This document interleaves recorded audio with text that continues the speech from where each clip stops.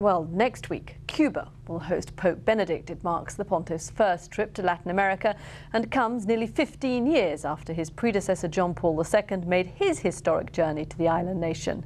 When Benedict arrives, it will be hard to disguise the impact punishing U.S. embargo has had on the country's infrastructure.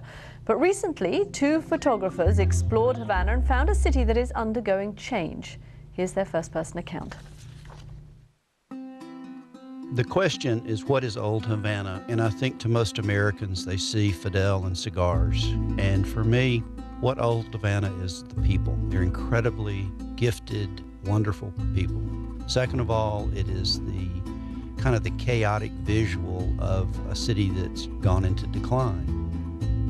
I'm Chip Cooper, and I've just finished a book about Old Havana, La Havana Vieja, which to me captures the essence of what's going on in Old Havana right this minute.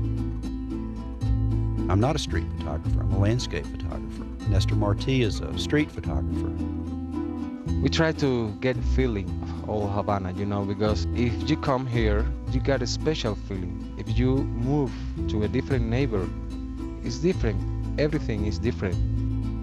We have a lot of color here, textures. The people is different, so friendly, and they are very open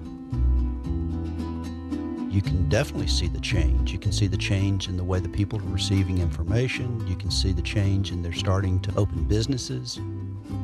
They're facing such severe problems that they're having to change, and you can see it. You can see it on a street level. I think the exciting thing is the Cubans finally see in the last, say, four years that there's change coming. I got to say, it took me a while to get my sea legs to be able to understand what I was photographing because I wanted to portray it from the heart, from my heart. There is renewal in Old Havana of bringing it back to what it once was, the elegance. And then there are places that are falling down that have no hope. What I tried to capture is a sense of place that most people have never seen, have no concept of. And with that probably comes the good, the bad, and the ugly.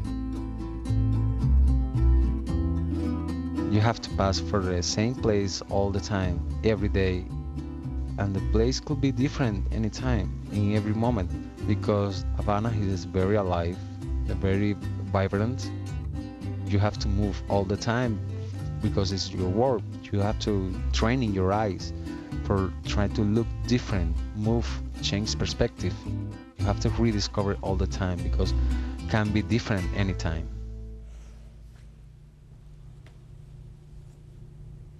Chip Cooper and Nestor Marti there on the photographs they've captured in their new book, Old Havana.